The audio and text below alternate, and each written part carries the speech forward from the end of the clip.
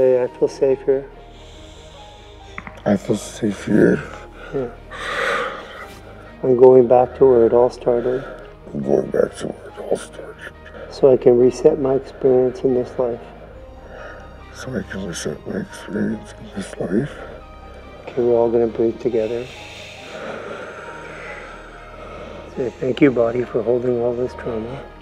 Thank you, body, for holding all this trauma. I'm ready to let it go. I'm ready to let it go.